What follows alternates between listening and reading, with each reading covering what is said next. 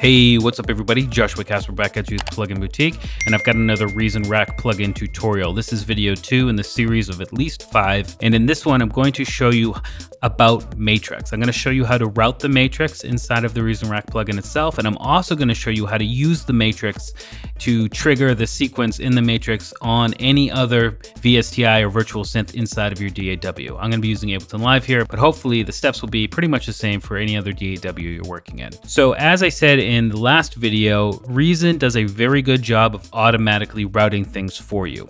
For example, if I come in here and jump into effects and put the reverb on here, hit tab and come back here, you'll see that my output from my synth is going into that reverb and the reverb is going right out to the output to our host. If I delete that, you can see that that has jumped just to a straight output. But if I add a matrix here, it's already loaded, it doesn't automatically route for me. And for most of the modulation type of stuff, this is the way it's going to be. So it's good to get in here and really understand what's going on. So all we need to do is kind of look at the back panel here and see, you know, if we can't figure things out just by using the titles and stuff. And I can see the first kind of column over here on Subtractor says sequencer control.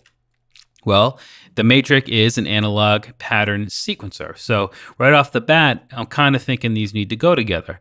So I have gate CV here, and then I have something called gate right here. So if I click right there and drag and drop, maybe I'll get something happening. So let's come back over here and just hit play on our DAW.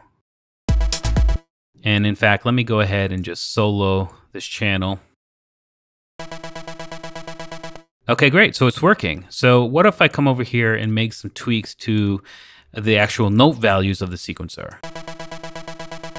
Okay, so nothing's happening. So let's jump back into the back and see if we can't assign this note CV to this other CV input on the sequencer control.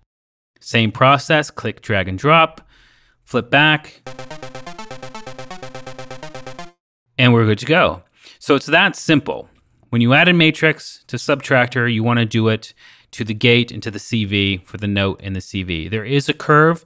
Don't worry about that if you're just trying to get started right now. Perhaps we'll cover that in a future video tutorial. It's going to work the same way with your other instruments. Let me just drop monotone on here and you'll see that I have sequencer control, gate, and CV here as well. So if I want this matrix to route to those instead, I'm going to go gate and note to CV. You'll see that it's working the same way. So that's how to route the matrix inside of the Reason rack. But what if I want the matrix to control a VSTI outside of the Reason rack? It can be done. So first thing I'm gonna do is just delete these so we can stay organized. And I'm gonna come into, it's inside of instruments, and I wanna go into MIDI out device. If I flip back around here, so now I want the MIDI to go out. So what do I want to do here? Sequencer control once again. So again, gate to gate, note CV to CV. Flip back around and let's drag, say, operator onto its own MIDI channel inside of Ableton Live. I want MIDI from the Reason Rack plugin on this first drop down menu, and then I want to choose Reason Rack plugin right here. And what happens if I press play now? Look at that. If I solo it, this instrument is now following the pattern inside of the matrix sequencer inside of the Reason Rack plugin.